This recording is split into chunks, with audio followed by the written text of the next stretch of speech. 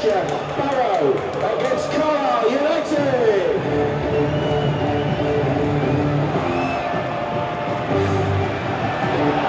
So the team starting with the visitors. Including number one, Paul Farman. Two, Connor Brown.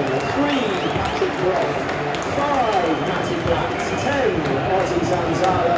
Twelve, Josh Gordon.